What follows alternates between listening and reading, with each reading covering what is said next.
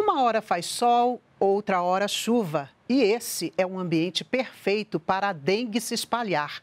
Cuidados simples ajudam a evitar a proliferação do mosquito transmissor da dengue, que só em 2022 provocou mais de 900 mortes em todo o país. Dá licença, amigo. O agente da vigilância ambiental chega na casa do seu Tomás, pede licença e começa o trabalho vasculhar todo o quintal à procura de criadouros do mosquito da dengue. Quando tiver lavas, a coisa mais fácil do mundo acabar com elas é fazer isso aqui, ó.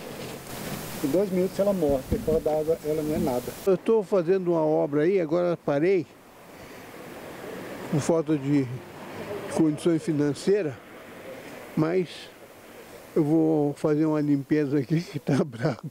O último boletim epidemiológico de 2022 do Ministério da Saúde apontou que ocorreram mais de 1 milhão e 400 mil casos de dengue em todo o país. A região centro-oeste apresentou maior incidência da doença, seguida pelas regiões sul, sudeste, nordeste e norte. A dengue é uma doença viral transmitida pelo mosquito Aedes aegypti e se espalha rapidamente. E é durante o período chuvoso que a atenção deve ser redobrada na higiene ambiental.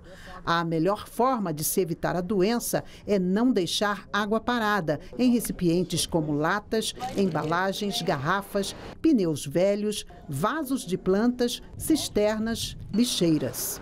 Os moradores também têm que estar olhando as calhas, se as calhas realmente nesse período chuvoso está tendo caimento da água normal ou se está acumulando.